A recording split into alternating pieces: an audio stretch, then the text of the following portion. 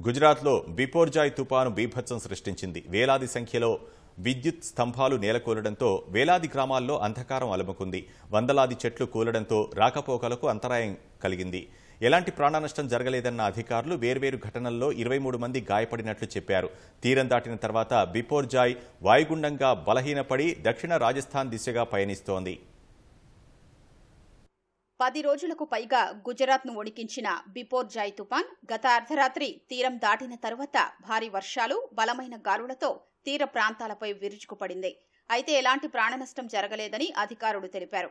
వేర్వేరు ఘటనల్లో ఇరవై మూడు మంది గాయపడినట్లు చెప్పారు.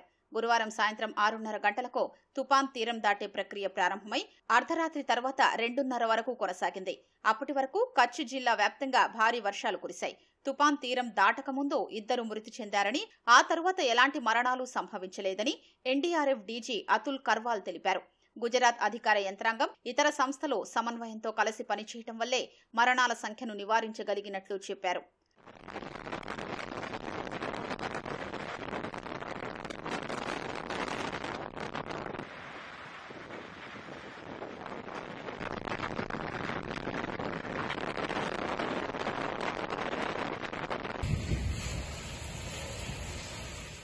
తుపాన్ ధాటికి ఐదు వేలకు పైగా విద్యుత్ స్తంభాలు నేలకూలగా నాలుగు వేలకు పైగా గ్రామాల్లో అంధకారం నెలకొంది. వెంటనే రంగంలోకి దిగిన సహాయ బృందాలు మూడు వేల ఐదు వందల ఎనభై గ్రామాల్లో విద్యుత్ సరఫరాను పునరుద్ధరించాయి. ఇంకా వెయ్యి గ్రామాలు అంధకారంలోనే ఉన్నట్లు తెలుస్తోంది. అందులో నలభై శాతం గ్రామాలు కచ్ జిల్లాలోనే ఉన్నట్లు ఎన్డీఆర్ఎఫ్ డీజీ అతుల్ కర్వాల్ వెల్లడించారు. ఐదు వందల వరకు గుడిసెలు దెబ్బతిన్నాయి. పక్కా నివాసాలకు కూడా నష్టం వాటిల్లినప్పటికీ ఆ సంఖ్య సింగిల్ డిజిట్లోనే ఉన్నట్లు అధికారులు తెలిపారు. ఎనిమిది వందల చెట్లు నేలకొరగ్గా సహాయ సిబ్బంది వాటిని తొలగించే పనుల్లో నిమగ్నమైనట్లు ఎన్టీఆర్ఎఫ్ డీజీ కర్వాల్ తెలిపారు. రోడ్లు దెబ్బతినడం చెట్లు నేలకూలడం సహా వివిధ కారణాలతో గుజరాత్లోని మూడు రహదారుల్లో రాకపోకలు స్తంభించినట్లు అధికారులు తెలిపారు.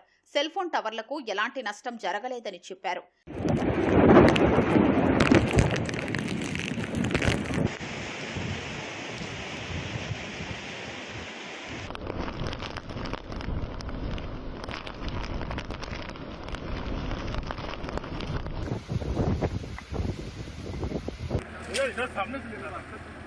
नहीं नहीं